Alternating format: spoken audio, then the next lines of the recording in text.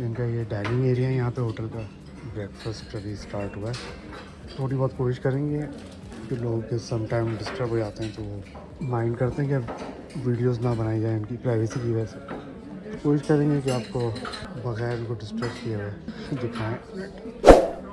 सबसे पहले आपको यहाँ पे मेन्यू दिखाता हूँ। इंग्लिश ब्रेकफास्ट होगा यहाँ पे। बेसिक ब्रेकफास्ट नहीं होगा।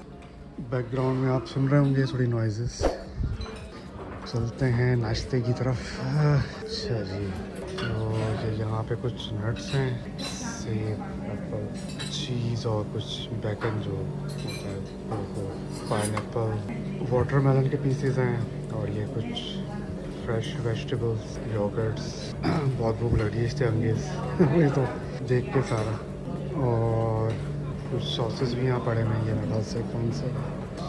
रियल सॉस मैनीज है ये इंग्लिश मस्टर्ड कटलरी पड़ी है यहाँ पे हाफ़ फ्राइड एग्स हैं कुछ पोटैटोस हैं। और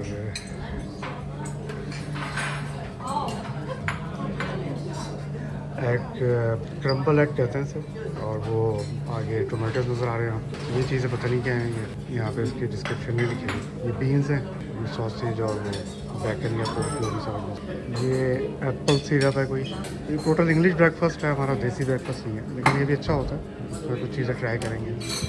ये टोस्टर प्लीज़ और हर तरह की ब्रेड रखी है वाइट ब्राउन और ऊपर जो थोड़े नज़र आ रहे हैं, उनको प्रोसेंट कहते हैं। बहुत मज़े के होते हैं खाने में। अक्सर बेशतर खाता रहता और कुछ मफिन पड़े हुए केक टाइप के होते हैं। ऊपर राइट हैंड पे नज़र आ रहे हैं।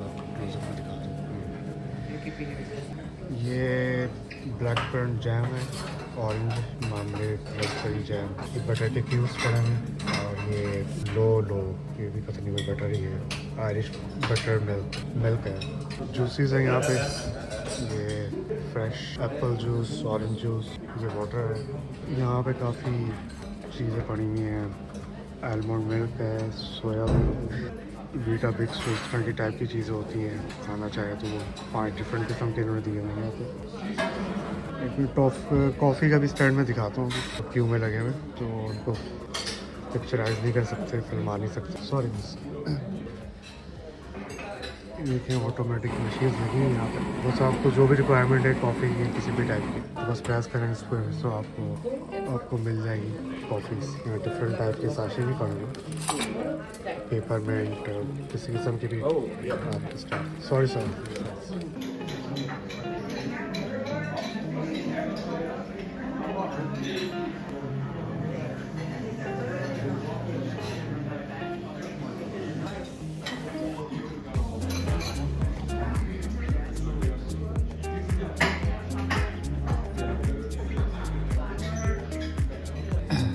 सरकार, ये देखिए, ये थोड़ा बहुत मैं नाश्ता लेकर आ गया ब्रेकफास्ट कुछ मेरे से खुबानी एप्रीकॉट और पाइन और सेब के जो पीस है यहाँ पे ये तरबूज फ़र्स्ट टाइम मैं ब्रेकफास्ट में खा रहा हूँ ज़िंदगी में, और पाइन है, और ये ऑरेंज जूस है, और ये कॉफ़ी अच्छा ये। यूजली मैं चार अंडों का ऑमलेट खाता हूँ नाश्ते में, या दो ब्रॉयल्ड एग तो ये हाफ़ फ्राई में तीन ले आया हूँ बाकी क्रम्बल है कि ये जो येलो देख रहे हैं और एक ये इसमें फ्राइड टोमेटोज़ है इनका ट्रेडिशनल इंग्लिश ब्रेकफास्ट होता है तो उसमें दो तीन और आइटम्स होते हैं। तो वो तो हम नहीं खा सकते सॉसेज और पोर्क को तो बस ये एक चीज़ लेके बाकी दो टोस्ट हैं और एक वो जो मैंने आपको ये चीज़ दिखाया था ये प्रोसेट ये बहुत मज़े का होता है। चलें जी मैं थोड़ा सा इसके साथ नाश्ते के साथ इंसाफ करता हूँ। देखें कैसा इंसाफ होता है। पहले तो मैं थोड़ा सा ये ऑरेंज जूस पी लूँ। बहुत प्यास लग रही है, पता नहीं क्या बात है कल से। अभी फ्रेश ऑरेंज जूस नहीं है, जैसे जो डब्बों में अवेलेबल होते हैं, वो टेस्ट आ रहा है इसमें। जो फ्रेश ऑरेंज जूस का जो टेस्ट होता है, वो बिल्कुल डिफरेंट ही होता है। तो बहुत मज़ा आता है। एनी वे पीसेस रखे हुए हैं एप्रीकॉट के।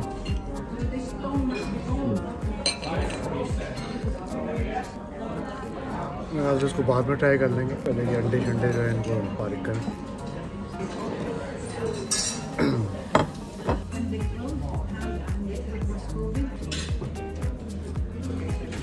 To black pepper और उसके बाद थोड़ा सॉल्ट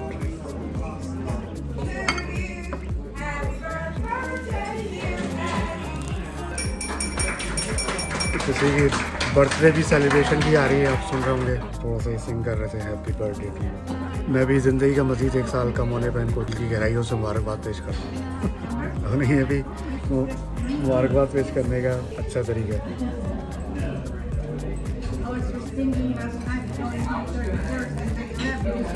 हमारे हिसाब से तो हाफ़ फ्राई अंडा जो है बहुत ही कम होता है बच्चों वाला ऑमलेट लगता है। खाना तो है, क्योंकि भी सब होटल में ठहरे हुए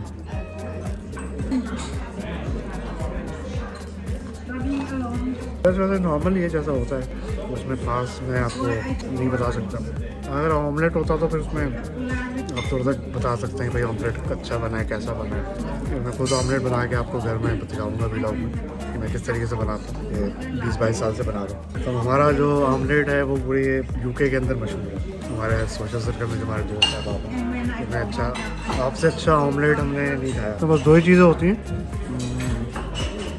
रेड ओनियन या वाइट ओनियन और थोड़ी ग्रीन चिलीज जो होती है और नमक डेट से तीन इंग्रीडियंट्स जब उसको खाएँगे तो खैर आपको तो डिटेल्स करा सकता मैं मैं तो खुद खाता हूँ मुझसे कोई दूध दोस्त है बाबा आ जाते हैं तो उनको खिला के बना के खिलाता हूँ बहुत